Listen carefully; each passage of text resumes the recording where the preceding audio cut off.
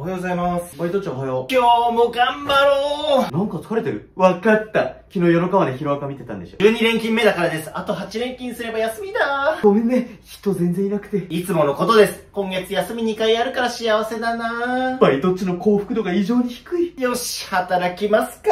僕の最初の仕事はレジ金を数えること。たまにずれてる時は大変なのですが。うん、合ってる。ちなみに店長は朝からこの状態です。お茶子ちゃんかわいい。つゆちゃんもいいけどなまあ朝は暇なので一人でできますけど。あ、いらっしゃいませ。こちらどうぞ。おはよう、今日は晴れじゃのそうですね。このおばあちゃんは毎日来る常連さん。夕方から少し雨が降るらしいのいつも僕に天気の情報を教えてくれるお天気キャスターなのです。お会計が233円です。スイカでお。支払い完了しました。明日は雨じゃから傘の用意が必要じゃ。ありがとうございました。午前中は比較的常連さんが多くお店に来ます。さっきのお天気キャスターおばあちゃん、毒ママ、ミニミニ長渕。ミニミニ長渕は何してる人なんだろうまあ、いっか。ここからお昼に向けてホットスナック作り、トイレ掃除をやって、お昼になったらお客さんが多く来るのでひたすらレジをします。僕一人ではお客さんをさばききれないので店長もレジをしに行きます。お昼のピークが過ぎたら店長は、バイトっちシフト作ってくるね。はーい。シフトという名のサボりです。ちなみにシフト作り、発注、日報作りはサボる理由です。ヒロアカ見終わっちゃったなさあ、ここから忙しい午後が始まります。まあ、忙しいというかめんどくさいというか、まず最初に来るのが、お疲れ様。エリマネ、お疲れ様です。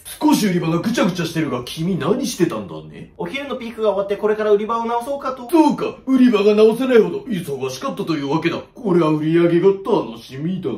ああ、闇の多い狸だなエリマネが来たらやることがあります。それが、店長に説教。そして、店長に説教。さらに、店長に説教エリマネのストレス発散に店長が付き合ってるわけです。店長は聞き流すことを覚えたようで。この後何のアニメ見ようかないや、仕事しろよ。僕も売り場直さないと。今度またエリマネ弁当出す予定だからよろしくな。またですか？それとデザートの発注も多くします。いやー、それだと廃棄が増えちゃうと思うんですけど。それを売るのが君の仕事だろ。うーん。いやー、なんでも、デザートの発注はバイトっちに任せてるんで。ではバイトを呼んできなさい。お前が行け。うーん。少々お待ちください。バイトっち？どうしました？エリマネ呼んでる。事務所来て。ええー、絶対めんどくさいやつだ。お待たせしました。デザートの発注は君らしいな。そうですけど、もっとデザート発注しなさい。それだと廃棄が増えちゃうので。店長と同じこと言うなそりゃ言うって。いいか、君たちは忘れてるようだが、私はここのエリマネだわかってるよね。はい。私がまだ店舗勤務だった頃は、やばい、始まった。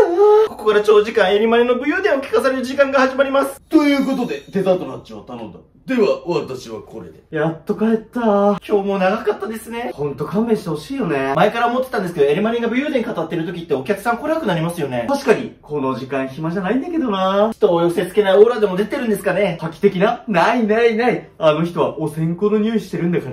くそっうー誰か私の噂をしてるな。は あ話題が尽きない男は辛いな。あ、もうこんな時間か。そろそろ準備しないと。この時間になったらホットスナックの準備をします。と言っても唐揚げくんがほとんどですが。そして16時、ハレルヤ店が荒れる時間です。ちょっとさ、いらっしゃいませ。ポケモンカードなんでないの？発注してないので。バカか、このコンビニ。ポケモンカード売れるんだから置いとけよ。すいません。すいませんじゃねえよ、くらおいこれあバイト君に何文句言ってんだ？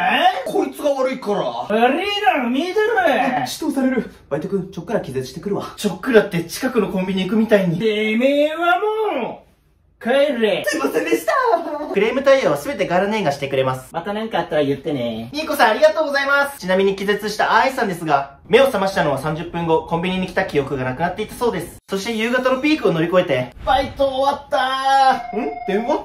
もしもし。バイトっちまだ店いる？はい、今があろうとしました。三上くん来てないよね。そうですね、夜勤は森さんしか来てないですね。さっき三上くんからバイト辞めるって連絡来て、森さん一人だと店回らないから、バイトっち残ってくれる？今月何回目ですか？夜勤飛びすぎですよ。ごめんね。とりあえずピークすぎる12時まででいいから。わかりました。僕の仕事はこんな感じです。まあ正直今日は楽な方なんですが、もう一踏ん張りしてきます。よし、やるか。